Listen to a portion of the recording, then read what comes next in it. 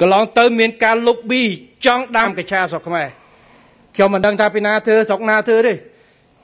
ប៉ុន្តែសម្រាប់ខ្ញុំទស្សនៈខ្ញុំគឺខ្ញុំប្រឆាំងដាច់ខាតទោះបីវាចូលចំណូលក៏ដោយស្អីក៏ដោយវាអត់ចំណេញសម្រាប់កូនចៅខ្មែរទេគេថាដាំដើម្បីផ្គត់ផ្គង់ទៅឲ្យផ្នែកសុខាភិបាលប្រទេសថៃគេចង់ធ្វើ មានអ្នក lobby ខ្ញុំសូមនិយាយជាចំហចឹងហ្មងប៉ុន្តែនិយាយជាចំហអត់មានថយក្រោយទេ សំខាន់យើងគ្រប់គ្រងបានអត់គ្រាន់តែយើងមិនអនុញ្ញាតផងហ្នឹងចាប់ប្រមាណដងនៅតកែវហ្នឹងជំមតែយើងបើកទៀតតើទៅណាស្របច្បាប់យើងគ្រប់គ្រងយ៉ាងម៉េចហើយខ្ញុំថាដំណាំមានរាប់ម៉ឺនមុខទៅដាំស្អីអាហ្នឹងនិយាយច្បាស់ចឹងមកពីណាគេគ្រប់តរខ្ញុំមិនដឹងទេទស្សនៈគ្រប់គ្នាតែខ្ញុំអត់គ្រប់តររឿងដាំកញ្ឆាស្រុកខ្មែរ